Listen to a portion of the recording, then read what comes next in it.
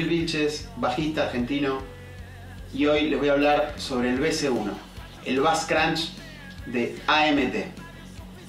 Es un preamp de bajo eléctrico de dos canales, un canal limpio y un canal sucio.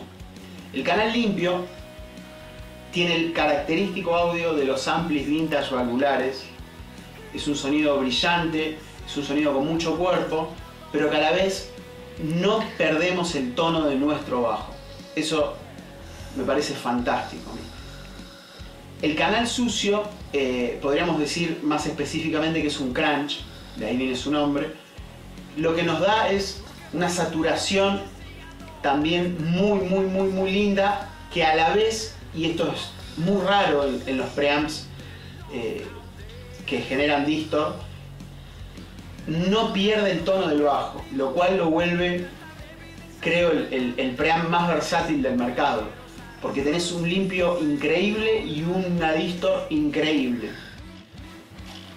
Tiene una entrada, un loop de efectos, en el caso de que queramos usar pedales, salida para nuestro ampli y dos salidas balanceadas. Una, que es la salida eh, común que tienen todos los preamps, y la otra es una salida balanceada pero con simulador de caja que te da un timbre un poquitito más redondo.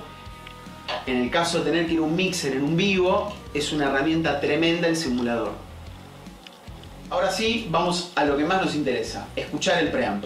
Voy a utilizar tres seteos, un seteo limpio para dedos, voy a utilizar un seteo limpio para slap en el cual voy a haber cortado los medios y voy a utilizar un seteo con crunch, ¿sí?